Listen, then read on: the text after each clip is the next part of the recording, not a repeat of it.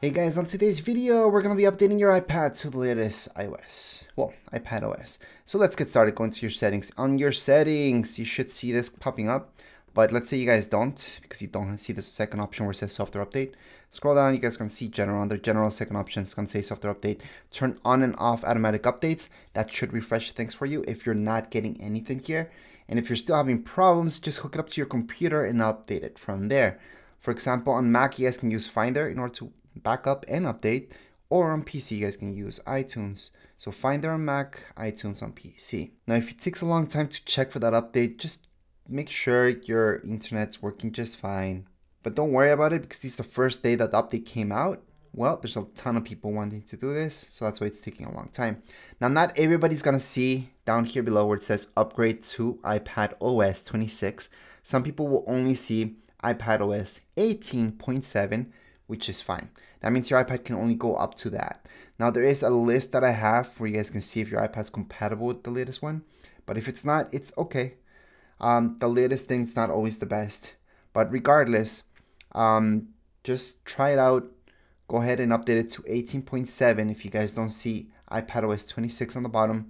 So make that update first, then go ahead and check again to see if you guys can upgrade one more time to iPadOS 26.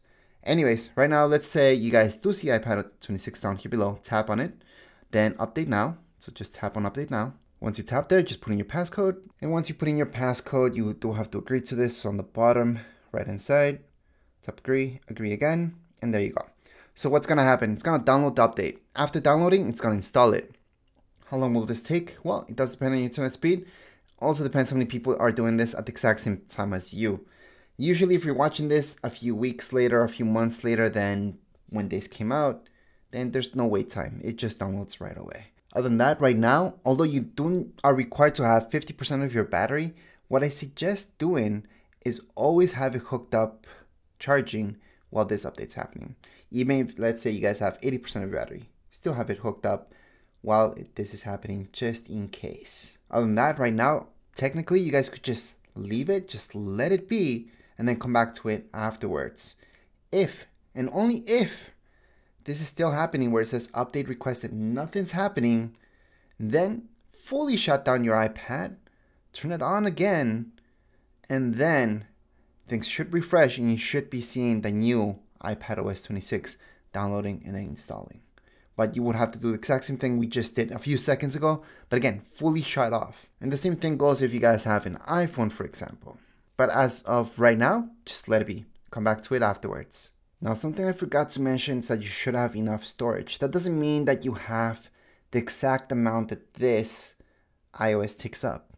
No, if it tells you that this iOS, for example, takes up only 4 gigs, you should have double the amount. So that means 8 gigs. In general, I always say have 15 gigs of free space on your iPad so that way this can download and install. Sometimes you have the exact amount for it to download, but then when it restarts and tries to install everything, it's not gonna have enough storage.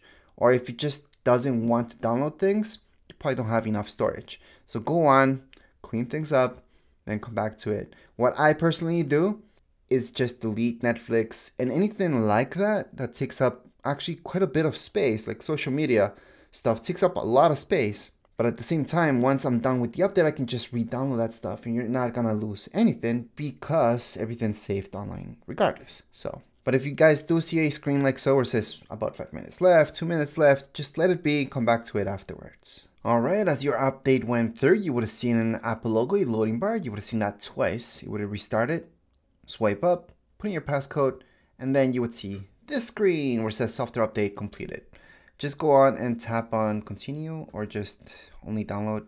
For me, it's only download. I'm going to change that to later on, by the way. But it's up to you. I never want this to update by itself. I'm going to put not now because I don't need that. And notification summary. I am not going to do that either. Priority notification, same thing for me. It's not really a thing. I don't like beta stuff either.